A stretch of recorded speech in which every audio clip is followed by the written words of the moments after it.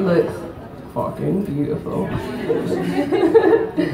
so we've got just a little bit of entertainment in store for you guys tonight. We're gonna do maybe like an hour and a half of entertainment and then everyone else is just gonna be able to mingle and chill.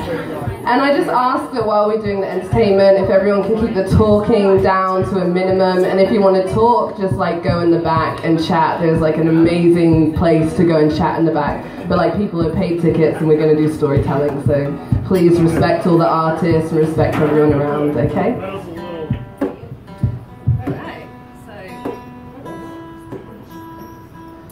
So I'm going to read a little um, kind of love chapter this evening. It's like a love but not love chapter, you know. And I guess the backstory that you need to know from it is that um, I was traveling with an ex-partner of mine called Bo, and we were in Australia and we were having a good time, and you know, stuff happened. So um, I want to welcome everyone to come on this literary journey. Just chill out, listen. We got music and song. What we're going to basically be doing is pairing cover songs with the storytelling um, with this book. So I wrote this book and it's available for sale if anyone wants to purchase a copy.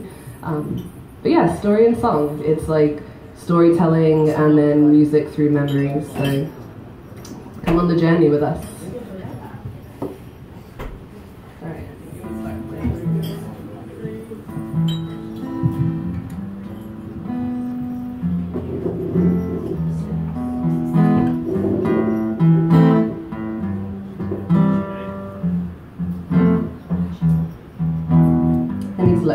I've had a very sore throat the last few days, so um, if I cough into the microphone, please excuse me.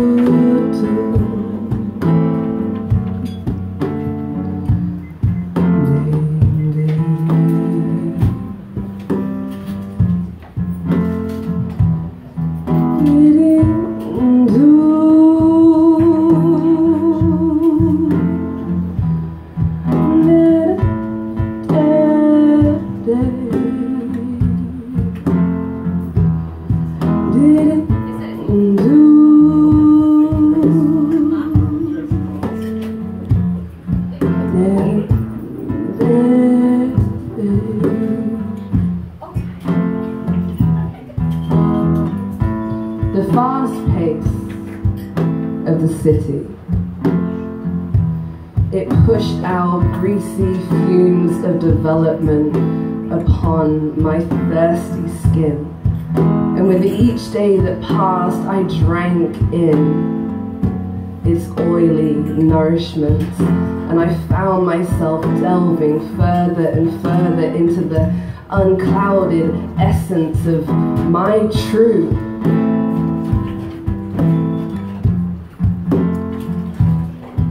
my true nature.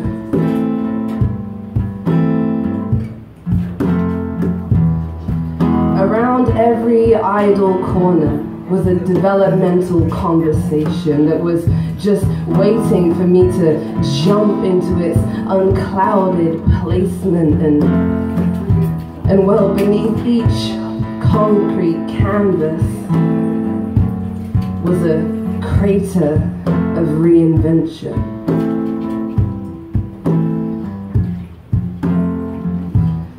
In that city, in that breathing, pulsing creature of Melbourne. I was remembering my youth. I was recalling my dreams and remembering the divinity within me that had become so easily lost after years of brainwashing and logic. Be quiet, I heard them say. Sit up straight, wear those shoes and this hat at X to Y and equate to a very good housewife. Be perfect, absolutely perfect. Please just be perfect. in every single way.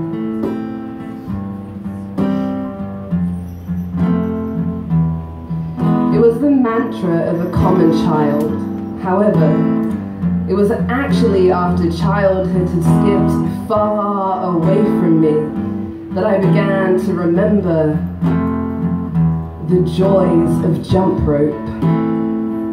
When I again played in the park without restrictions of a curfew, and while swinging on the roundabout with absolute abandon and the strength of adult legs. Well, that's finally where my true voice had began to properly navigate its purpose. And such a time is when real happiness began to seek me out.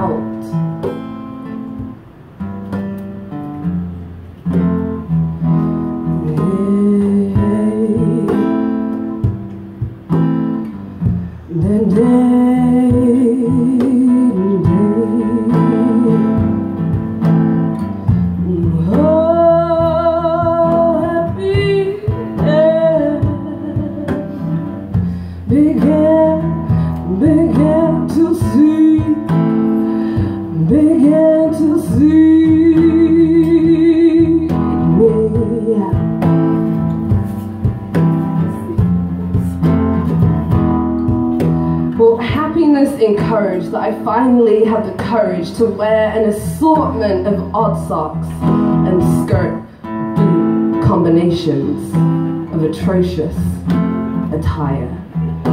Contentment showed me my style and taught me that after childhood, I could easily become master of the washing machine in order that muddy dresses were no longer problematic.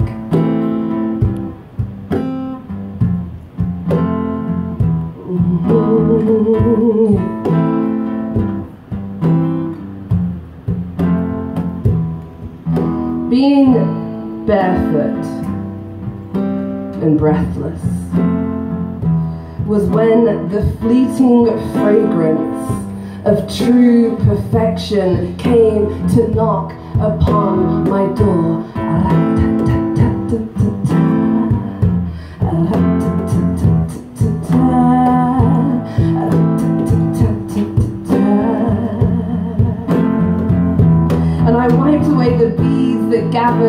The dip of my smiling lip. And I invited perfection in for a tea party. And there we took seat and began to discuss the latest developments in our unified campaign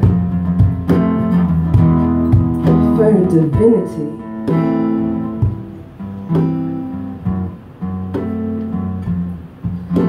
For life that time. Well, it was as sweet as a cherry pie.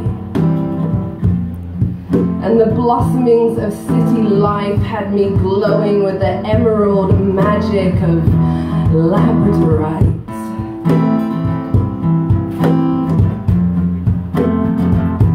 And each day floated carelessly into the next with a perfection that teased the outer edges of my world. And without further ado, I became a country girl who had grown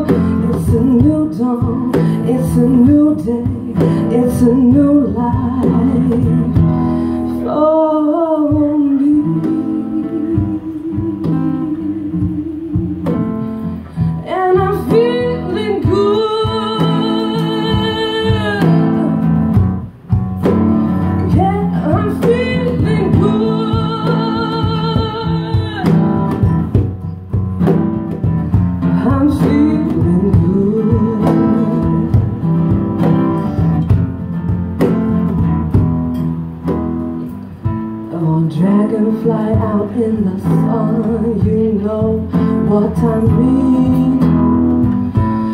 Butterflies all having fun, you know